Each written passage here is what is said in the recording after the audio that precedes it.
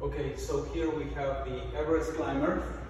Um, it's a magnetic climber and you adjust the resistance moving this knob. It's a magnetic resistance. And this is a dual climber, so feet, but also hands. Um, and it also has the possibility of adjusting the handle in four different positions, uh, depending on how tall you are. And it also can adjust the handles on the side if you want to target different muscles.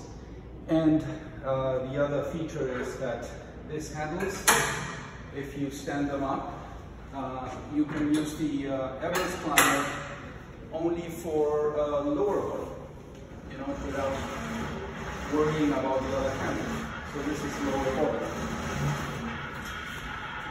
And then the readings on the console give you the time, the interval, the distance, the calories, the cadence, and the pulse. But you have to wear a chest strap.